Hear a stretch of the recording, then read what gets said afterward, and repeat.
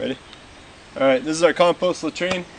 Um, right here we've got our vent pipe coming out the rear. Um, it's got to be painted black but not reflective black. You want to like a um, non-reflective finish so that it absorbs the heat from the sun and causes the, the fumes from down below where the solid and liquid waste are to rise.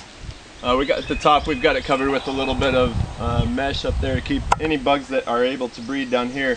Once they try to escape up the top, they'll be caught and die. Um, take care of that. All right, in our back uh, compartment here, we've got two sides. The left over here is to catch the solid waste. The right over here is to catch the liquid waste. Um, you know, when we're ready, we can just flip the door up, take it out. Um, and after it's uh, cured and no longer contains uh, harmful chemicals and biological pathogens and we're able to add it to our compost on the garden. Um, the urine, we just dilute that and add it to the um, to our drip irrigation system. Okay, over here we've got our door made with our tire hinges. So it just swings here. Um, inside, as you're able to see, we've got a toilet seat there, that's going to be where the solid waste goes.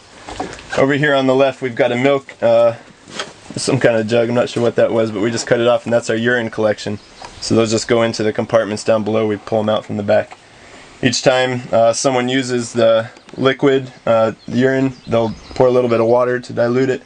Anytime they use a solid, they'll take a spoonful of uh, this material right here, which is a combination of ash and just plain dirt, and also some straw um, in order to uh, facilitate the uh, decomposition of the solid material. And the mesh is to keep all the insects out. Great.